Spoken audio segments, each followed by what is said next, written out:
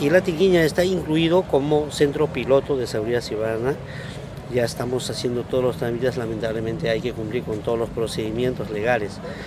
Eh, ya hay un documento en el Ministerio de Interior, eh, estamos avanzando con ello y obviamente eh, un pre-trabajo estamos haciendo, por ejemplo, cámaras de seguridad, ya tenemos 10 cámaras yo sé que no es suficiente, yo sé que todavía de algo hay que empezar y estamos avanzando en ello.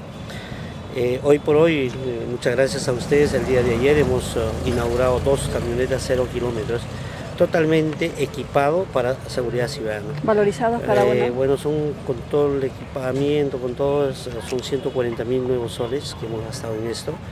Pero lo que queremos dejar entrever a la población es que eh, queremos trabajar con el pueblo. El día de ayer he tenido una reunión en Buenos Aires, eh, ya los uh, dirigentes, la población están comprometiéndose a trabajar con la municipalidad.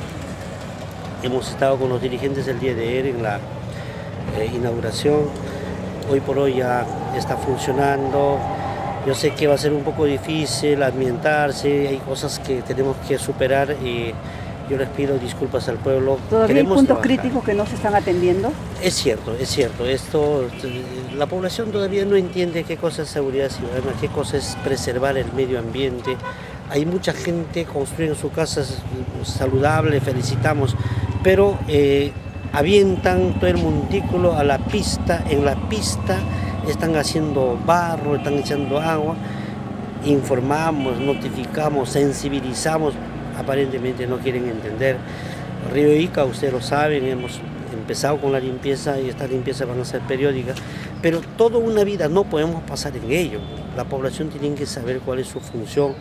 Ya tenemos dos volquetes, cero kilómetros que hemos adquirido, eh, para dar mejor prestancia a la población y, ojalá pues que aprendan ya a cuidar eh, su medio ambiente. Sabemos que desde ICA, desde el mercado modelo van a, arrojar, eh, vamos a coordinar con el alcalde provincial, con el alcalde de Parcona, para hacer una ordenanza en forma conjunta coordinar con el Ministerio Público. Yo sé que es un proceso a ¿Pero corto, largo y... Porque no ha dado, este, digamos, resultados este anhelo que tenían con el gobierno regional, ¿Cuándo lo van a hacer ustedes a través de los distritos? Nosotros ya estamos ya elaborando el proyecto de ordenanza. Eh, si la provincial, yo creo que la provincial va, lo va a hacer igual, eh, coordinaremos.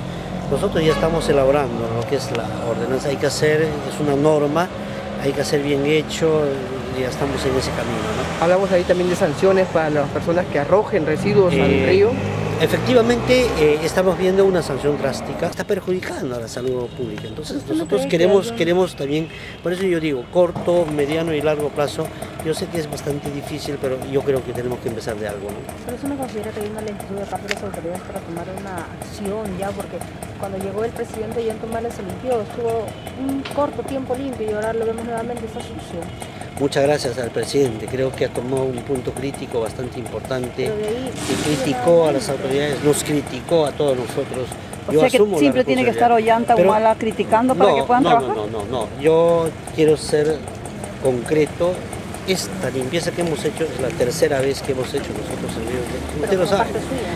Parte nuestra. Bueno, los demás asumen su responsabilidad. Pero el tema, eh, a raíz de que vino el presidente ya estamos coordinando yo sé que hay funcionarios que tampoco lo están cumpliendo tanto en municipalidad de Latinguín, en Ica o en otros municipios. ¿O están esperando que, se inicie la campaña electoral? Ah, de para repente, De repente, nosotros no, no pensamos. Alcalde, pero el Cauce de la Chirana, ¿cuándo hace una limpieza general?